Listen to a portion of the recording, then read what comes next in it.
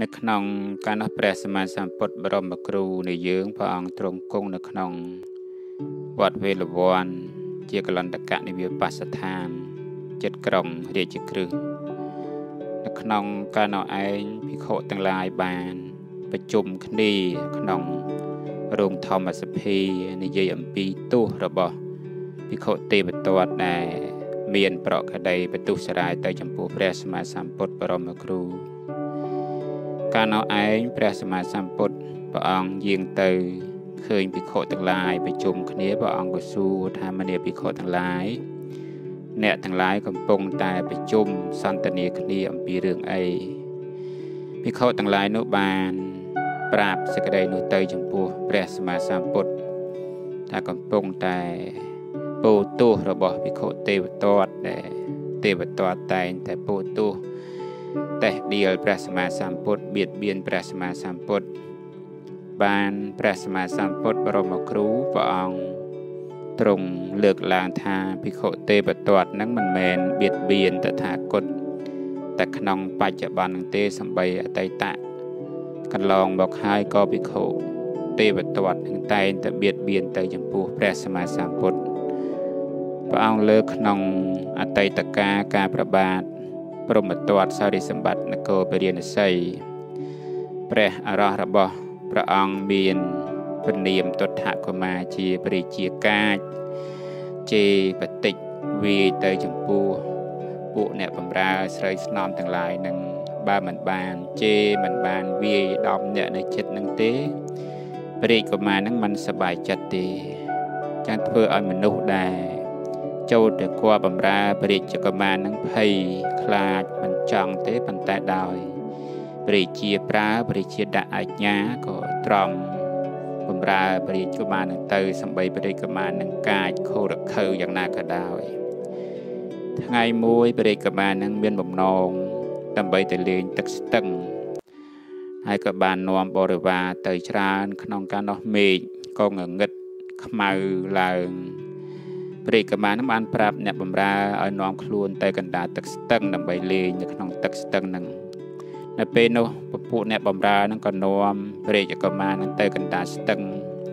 ហើយក៏បានប្រឹក្សាគ្នាថាយើងទុកព្រះកមានឹងចោលព្រោះព្រះកមានឹងជាមនុស្សអាក្រក់ខូខើធ្វើបាបពួកយើងច្រើនហើយយើងនឹងត្រឡប់ទៅកាន់រាជវាំងវិញ ពពួកអ្នកបម្រើទាំងហ្នឹងក៏ព្រមព្រៀងគ្នាទៅទុកព្រះកមាចោលក្នុងទឹកកណ្ដាលស្ទឹងហ្នឹងដល់មេឃខ្មៅមើលគ្នាអត់ឃើញនាំគ្នារសៀរសៀឡើងតាមមាត់ស្ទឹងអស់ទៅកាន់រាជវាំងសំបីពួកអាមាត្យដែលមកជាមួយនឹងក៏ទៅវិញដោយសម្គាល់ថាព្រះរាជកុមារនឹងឯងត្រឡប់ទៅចម្ពោះទៅជាមួយនឹងពពួកស្នំអ្នកបំរើនឹងដែរនៅក្នុងការនោះនៅពេលដែល អ្នកបំរើពពួកអាមាត្យត្រឡប់ទៅដល់រាជវាំងវិញព្រះរាជាមិនឃើញព្រះរាជកុមារក៏សួរថាអ្នកទាំងឡាយហេតុអីក៏មិនឃើញបុត្ររបស់យើងមកបានពពួកអាមាត្យពពួកអ្នកបំរើនឹងក៏ប្រាប់ទៅថាដោយមេឃងងឹតខ្មៅខ្ញុំព្រះអង្គទាំងឡាយសម្គាល់ថាព្រះកុមារមកបាត់ហើយអញ្ចឹងហើយក៏ឡើងទឹកសម្ដៅមកព្រះរាជវាំងតែម្ដង នៅក្នុងការនោះព្រះរាជាជាព្រះបិតានឹងដឹងថាព្រះរាជកុមារច្បាស់ជាវង្វេងនៅក្នុង ទឹកស្ទឹងនឹងហើយទើបចាប់ឲ្យរាជអាមាត្យនឹងឯងនាំគ្នាស្វែងរកព្រះរាជកុមារនឹងរកអត់ឃើញដែលទៅតាមទឹកនឹងទៅបានតោកនៅកំណាត់ឈើមួយដុំណាព្រះរាជកុមារទុដ្ឋកុមារនឹងបានកំណាត់ឈើនឹងដែលទៅតាមកសែទឹកខាងក្រោម នៅក្នុងកាលនោះឯងមានសទ្ធិអ្នកនគរពារាណសីម្នាក់គាត់មានទ្រព្យ40កោដនៅក្បែរឆ្នេរស្ទឹងតែពេលគាត់ស្លាប់ទៅជាប់ចម្ពាក់ចំពោះទ្រព្យនឹងឯងទៅកើតជាសត្វពស់នៅកន្លែងកំណប់ទ្រព្យរបស់គាត់នឹងឯងហើយមានសទ្ធិម្នាក់ទៀតដែលនៅនគរពារាណសីនឹងដែរមានទ្រព្យ30កោដ ហើយដល់ពេលដែលគាត់ជាប់ចម្ពាក់ចំពោះទ្រព្យសម្បត្តិរបស់គាត់នឹងស្លាប់ទៅក៏កើតជាសត្វកណ្ដុរនៅកន្លែងទ្រព្យសម្បត្តិរបស់គាត់នឹងឯងសត្វទាំងពីរនឹងឯងត្រូវភ្លៀងមកច្រោះទៅចំកន្លែងរុនទាំងពោះទាំងកណ្ដុលហ្នឹងក៏បាក់ធ្លាក់ទៅទៅតាមស្ទឹងរស័តតែទៅទៅលើលើកំណាត់ឈើណាជាមួយនឹង ព្រះរាជកុមារកំពុងតែជិះកណាត់ឈើនឹងអញ្ចឹងបានពោះបានកណ្ដុលជិះនៅជាមួយនឹងព្រះរាជកុមារនឹងឯងពេលដែលកណាត់ឈើនឹងរសាត់ទៅតាមទឹកទៅខាងក្រោមទៅរសាត់ទៅគឺនៅខាងក្រោមមានដើមរកា មានសัตว์សេកនៅទុំដើមរកាហ្នឹងដល់ពេលដែលភ្លៀងខ្យល់ខ្លាំងសេកនឹងមិនអាចតោងជាប់ នៅដើមរកាហ្នឹងឯងក៏ធ្លាក់មកទើនៅលើកំណាត់ឈើហ្នឹងដូចគ្នាអញ្ចឹងកំណាត់ឈើហ្នឹងបាន4នាក់គឺព្រះរាជកុមារសត្វពស់សត្វកណ្ដុរនិងសត្វសេកណានដែលទៅទៅតាមទឹកនឹងហូរទៅក្រោមយន្តទៅព្រះរាជកុមារនឹងយំដិតដាក់អោបកំណាត់ឈើនឹងស្រែកឲ្យគេជួយណាធ្លាប់តែ ខ្លួនហៅនរណាមកប្រើប្រាប់នរណាអីក៏បាននៅពេលហ្នឹងអត់មាននរណានៅចិត្តនរណាប្រើបានអញ្ចឹងទៅក៏ដែតដែតទៅទៅតាមណាកណាត់ឈើនឹងឯងតោងកណាត់ឈើទៅក្រោមអញ្ចឹងទៅខាងក្រោមហ្នឹងមានកន្លែងរបស់ព្រាមម្នាក់ដែលជាអ្នកមានទ្រព្យសម្បត្តិក្នុងនគរពារាណសីនឹងដែរបានចេញចាកផ្ទះនឹងឯង លះបង់ទ្រព្យសម្បត្តិនឹងឯងទៅបួសជាអស័យនៅស្នេហ៍ស្ទឹងអស័យនឹងកំពុងតែដើរចង្ក្រមក្នុងវេលាត្រៀតក៏បានលើសំឡេងយំលន់ឡើងរបស់ព្រះរាជកុមារនឹងត្រេះរិះថាការដែលទៅបោះអ្នកសម្បូរដោយមេត្តាករណានៅមានមិនបណ្ដោយឲ្យមានបរោះណាស្លាប់ដែលបានលឺសំឡេងឲ្យដូច្នោះទេដូច្នោះហើយបានតបោះហ្នឹងក៏បាន ដើរទៅតាមសំឡេងហ្នឹងមកកន្លែងខ្សែទឹកហ្នឹងឃើញបរិកមានកំពុងតែតោងកំណាត់ឈើនឹងឯងស្រែកយំកំណាត់ឈើនឹងតបោះហ្នឹងក៏បានចុះហែកទឹកដោយកម្លាំងខ្លាំងហែកទឹកទាញកំណាត់ឈើនឹងមកជួយបាន ទាំងបរិកបាទាំងសัตว์3ប្រភេទទៀតពស់កណ្ដុរសត្វសេកតែនៅលើកណាត់ឈើនឹងឯងណាយកមកកាន់អាស្រមរបស់ តាបោះនឹងមកទាំង4នាក់នឹងឯងរៀបចំប្រកាត់ភ្លើងនឹងដែលបរិកមាក៏លងាពួកសัตว์នឹងក៏វាត្រូវទឹកត្រូវអីហ្នឹងវាត្រូវការទុក្ខវេទនានឹងឯងក៏បរិកមានឹងឯងគឺបានតបោះនឹងសង្គ្រោះទាំងសัตว์ទាំង3ប្រភេទនឹងទៀតនៅពេលដែលនៅក្នុងអាស្រមតបោះនឹងឯងតបោះនឹងបានចែកនៅចំណីអាហារសម្រាប់បរិភោគសម្រាប់ពពុសัตว์ និងសម្រាប់តាសម្រាប់ព្រះរាជកុមារនឹងផងប៉ុន្តែតាបោះនឹងតែងតែឲ្យទៅពពុសัตว์នឹងចំណែកទាំងមុនព្រះរាជកុមារនឹងក្រោយណាចឹងទៅក៏ព្រះរាជកុមារឃើញតាបោះធ្វើអញ្ចឹងក៏នឹកអន់សពុនចិត្តគិតតែខ្លួនជាព្រះរាជកុមារចង់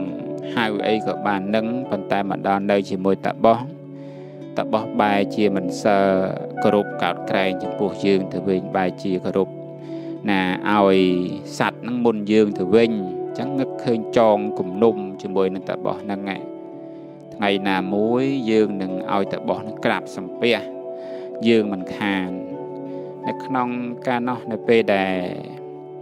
ពពុអ្នកទាំង4នៅជាមួយតបោះយូរទៅមានកម្លាំងបានបរិភោគអាហារគ្រប់គ្រាន់ហើយហ្នឹង ពស់នឹងក៏ប្រាប់ទៅតាបោះនឹងថ្វាយបង្គំលាទៅកន្លែងខ្លួនវិញហើយក៏ប្រាប់ថានៅពេលដែលលោកត្រូវការកំណត់ទ្រព្យចូលទៅរកខ្ញុំចោះខ្ញុំនៅទីកន្លែងនេះហើយខ្ញុំមានកំណត់ទ្រព្យ40កោដណា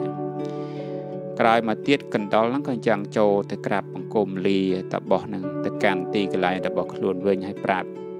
តបោះនឹងថាបើសិនជាតបោះនឹងត្រូវការកំណត់ទ្រព្យ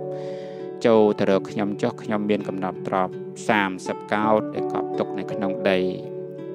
ចំណែកសត្វសេកហ្នឹងអត់មានកំណត់ទ្រព្យអីដូចគេទេ ប្រាប់ទៅតបោះហ្នឹងឲ្យពេលថ្វាយបង្គំលាណាប្រាប់តបោះហ្នឹងថាខ្ញុំមិនមានកំណត់ទ្រព្យមិនមានអីដូចគេទេប៉ុន្តែបើសិនជាតបោះត្រូវការស្រូវសាលីខ្ញុំនឹងឲ្យពពួកសត្វសេកដែលជាបរិវាររបស់ខ្ញុំពំស្រូវសាលីមក ចឹងទៅក៏ក្រាបបង្គំលាតបោះនឹងអស់ទៅនៅពរិកមាក្រោយគេពរិកកមាហ្នឹងក៏នឹកឃើញថាគេទៅអស់ហើយខ្លួនក៏មិនដឹងជានៅធ្វើអីក៏លាតបោះនឹងទៅឲ្យប្រាប់តបោះនឹងថាបើត្រូវការអីចូលទៅរកខ្លួនក្នុងរាជវាំងទៅក៏ត្រឡប់ទៅកន្លែងរៀងរៀងខ្លួនចឹងទៅនៅក្នុងការនោះនៅពេលដែល ជនទាំង4បានត្រឡប់ទៅទីកន្លែងរៀងរៀងខ្លួនអស់តបោះហ្នឹងក៏បានសាក់លបងទៅរកពពួកសัตว์ទាំងមុនគេ ចូលទៅរកពស់ហ្នឹងក៏បានពោលហៅចឹងទៅពស់ហ្នឹងចេញមកប្រាប់ទៅថ្វាយបង្គំទៅបោះហ្នឹងថាលោកម្ចាស់ត្រូវការកំណត់ទ្របឬបើត្រូវការកំណត់ទ្របខ្ញុំនាំទៅយើងបានតបោះនឹងប្រាប់ថាពេលនេះមិនទាន់ត្រូវការទេចាំពេលក្រោយអ្នកចូល ទុក រក្សាទុកនៅកំណត់ទ្របនឹងសិនចោះតបោះនឹងបានចូលទៅរកសត្វកណ្ដុរនឹងក៏ដូចគ្នា ស្រែកហៅចឹងទៅកណ្ដុរនឹងក៏ចេញមកថ្វាយបង្គំតាបោះនឹងរៀបរាប់ប្រាប់ចឹងទៅថាលោកម្ចាស់ត្រូវការកំណត់ទ្របឬបើសិនជាលោកម្ចាស់ត្រូវការកំណត់ទ្របខ្ញុំនឹងយកកំណត់ទ្របនឹងឲ្យលោកម្ចាស់តបោះនឹងក៏ពោលដូចគ្នាអញ្ចឹងទៀតថាពេលនេះមិនត្រូវការទេចាំពេលក្រោយចូលទៅរកសត្វសេកហ្នឹងក៏អញ្ចឹងដូចគ្នា តែលោកម្ចាស់ត្រូវការស្រូវសាលីឬបើសិនជាលោកម្ចាស់ត្រូវការស្រូវសាលីខ្ញុំនឹងឲ្យពពួកសេករបស់ខ្ញុំហ្នឹងទៅពំស្រូវសាលីមកថ្វាយលោកម្ចាស់តបោះនឹងក៏ពោលដូចគ្នាយ៉ាងទៀតថាពេលនេះអត់ទាន់ត្រូវការទេចាំពេលក្រោយ ចូលទៅរកព្រិកមានៅពេលដែលតបោះនឹងចូលទៅរកព្រិកមាព្រិកមាកំពុងតែជិះលើលើខ្នងដំរី ក៏លេចឃើញក៏នឹកឃើញការខឹងក្រោតភ្លាមក៏បានគិតក្នុងចិត្តថាបើសិនជាឲ្យតបោះនេះចូលក្នុងរាជវាំងហើយប្រាប់ថាជាអ្នកជួយសង្គ្រោះយើងយើងច្បាស់ជាមនុស្សអន់មនុស្សមិនល្អអីសពគ្រប់បែបយ៉ាងបញ្ជាឲ្យរាជអាមាត្យចាប់តបោះនឹងចេញទៅក្រៅហើយយកទៅកន្លែងផ្លូវបាយជា4កាត់កប្រហារជីវិតចោល រាជាអាមាត្យនឹងធ្វើតាមពាក្យរបស់ព្រះរាជកុមារនឹងឲ្យចាប់តបោះនឹងអូសទៅតបោះនឹងយំប្រាប់ហើយពេលដែលគេអូសបដានឹងស្រែកបដានឹងថាខ្ញុំមិនគួរណាជួយមនុស្សបែបនឹងសោះមិនគួរណាជួយមនុស្សបែបនឹងសោះហើយបើកណាត់ឈើដែលគេបោះចោលក្នុងទឹកស្រង់ហើយវាប្រសើរជាងជួយមនុស្ស នៅពេលដែលពួកមហាជនស្ដាប់ឮតបោះនឹងពោអញ្ចឹងណាពោថាកណាត់ឈើដែលគេបោះចោលក្នុងទឹកស្រង់មកវិញក៏គង់ប្រសើរជាងជួយមនុស្សអញ្ចឹងក៏បានសាកសួរថាតបោះឯងចិត្តស្លាប់ហើយគេយកទៅប្រហារជីវិតហើយហេតុអីក៏ពោលពាក្យអញ្ចឹងបានតបោះនឹងរៀបរាប់ប្រាប់ទៅពពួកមហាជនថាបរិកុមារនឹងខ្ញុំធ្លាប់ជួយស្រង់អំពីទឹកឡើងជាមួយនឹងកណាត់ឈើជាមួយនឹងសត្វដតីផ្សេងទៀត ឲ្យរស់រានមានជីវិតប៉ុន្តែពេលនេះនៅពេលដែលខ្ញុំមករកបរិកុមារបរិកុមារបាយធ្វើអញ្ចឹងចំពោះខ្ញុំនៅពេលដែលពពួកមនុស្សពពួកអ្នកស្រុកគេស្ដាប់ឮអញ្ចឹងទៅគេអត់សប្បាយចិត្តគេកើតទុកថាគេតេះដៀថាព្រះរាជានេះជាមនុស្សដែលរដ្ឋីបរិជានេះជាមនុស្សអកតញ្ញូមិនដឹងគុណតបោះនេះប្រឹងធ្វើគុណសពគ្រប់បែបយ៉ាងអត់ព្រម តបស្នងសងគុណបែរជាទៅបន្ទុះសារាយចំពោះតាបោះនឹងវិញចឹងទៅបាននរគ្នាចូលទៅក្នុងវាំងចោលមកដុំថ្មដុំដីរហូតដល់ពរាជានឹងស្លាប់បាត់បង់ជីវិតចឹងទៅបានលើកតាបោះនឹងឲ្យជាពរាជាតាបោះនឹងខ្លាយជាពរាជាគ្រប់គ្រងនៅក្នុងនគរពារាណសីនឹងនៅពេលដែលបានជាពរាជាគ្រប់គ្រងនគរពារាណសីនឹងបានរៀបចំ នៅក្នុងនគរពារាណសីឲ្យពួកអ្នកស្រុកនឹងគេមានការកាន់សិលកាន់អីចឹងទៅឲ្យបានទៅជាយកនៅកំណត់ត្របអំពីពុះអំពីកណ្ដុលអំពីសេកហ្នឹងឲ្យយកសัตว์ទាំង3នឹងចូលនៅក្នុងរាជវាំងឲ្យគេរៀបចំកន្លែងត្រកមាសកន្លែងអឺគុហ៊ីកន្លែងរុនដែលបណិតទាំងតែសម្រាប់កណ្ដុលសម្រាប់សេកសម្រាប់អីចឹងទៅឲ្យបរិភោគអាហារសត្វបណិតនៅក្នុង រាជវាំងជាមួយព្រះរាជាព្រះរាជាទូមានពពួកមនុស្សពពួកអាមាត្យនៅក្នុងនគរនឹងឲ្យប្រឹងប្រែងចិនសំបនបំពេញកសលរៀងរៀងខ្លួនទៅអ្នកទាំងឡាយស្លាប់អំពីលោកនេះទៅទៅតាមយថាកម្មរៀងរៀងខ្លួនទៅនៅពេលដែលព្រះសម្មាសម្ពុទ្ធបរមគ្រូព្រះអង្គលើកបជាដាក់នឹងមើលរៀបរាប់ទៅចឹងទៅបានព្រះអង្គសម្ដែងប្រាប់ភិក្ខុទាំងឡាយថាភិក្ខុទេវទត្តហ្នឹងមិនមែនបន្ទុះសរាយចំពោះតថាគត តែក្នុងពេលនឹងទេសំបីក្នុងការខាងមុខនោះក៏បានបន្ទុះសរាយចំពោះព្រះសម្មាសម្ពុទ្ធដែរអតីតកន្លងមកហើយនឹងចឹងទៅបានព្រះអង្គប្រជុំពជាដកនឹងមកណាតព្រះជា ដែលទ្រុះមិត្តនៅក្នុងកណ្ដោបានមកជាភិក្ខុទេវទត្តនឹងឯងចំណែកពុះបានមកជាព្រះសិរីបុត្រសត្វកណ្ដុរបានមកជាព្រះមហាមោគលានសត្វសេកបានមកជាព្រះអនន្តណាចំណែកព្រះជា ជាធម្មរាជណាតបោះក្នុងកាលនោះបានមកជាព្រះសម្មាសម្ពុទ្ធបរមគ្រូនៅយើងនៅឯនៅក្នុងពជាដតថ្ងៃចប់តែប៉ុណ្្នឹងឯង